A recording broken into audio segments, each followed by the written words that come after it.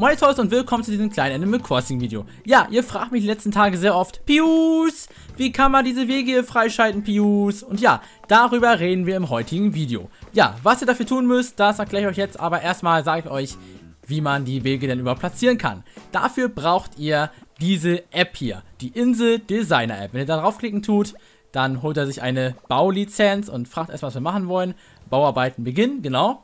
Und mit dieser App können wir Wege bauen, abreißen und sowie die Höhen und Flüsse bearbeiten. Das geht durch das Plus. So sieht das Ganze aus. Man hat die Wahl zwischen verschiedenen Wegen, die man durch Nook-Meilen am Nook-Portal kaufen kann. Sowie die Plateau-Lizenz und die Gewässerlizenz, wo man halt das Wasser und die Höhen bearbeiten kann. Ja, aber wie schaltet man das Ganze frei? Es ist eigentlich gar nicht mal so schwer. Eure Insel braucht eine 3-Sterne-Bewertung. Und wie das geht? Ja, das erkläre ich euch jetzt ganz kurz. Und zwar, ihr könnt bei Melinda jeden Tag einmal nachfragen, wie euer aktuelles Insel-Image ist.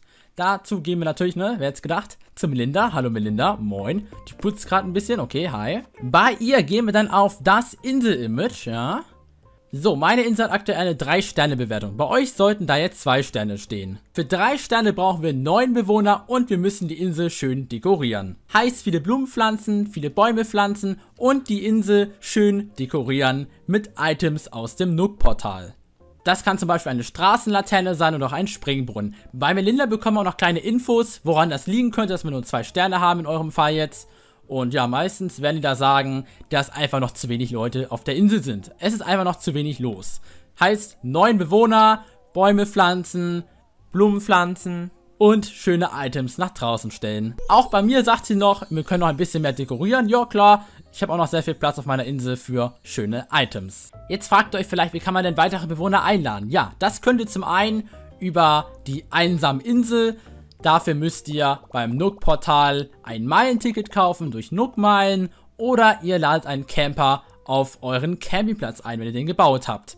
Dafür braucht ihr aber Amiibo-Karten. Heißt, für die meisten kommen also nur die einsamen Inseln in Frage. Habt ihr jedoch eine Amiibo-Karte, könnt ihr sie hier einscannen und dann euren Bewohner auf die Insel einladen.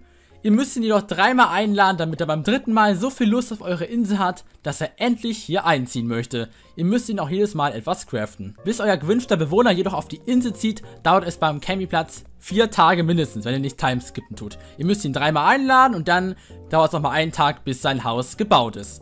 Damit sein Haus, by the way, gebaut werden kann, braucht ihr auch Platz auf der Insel.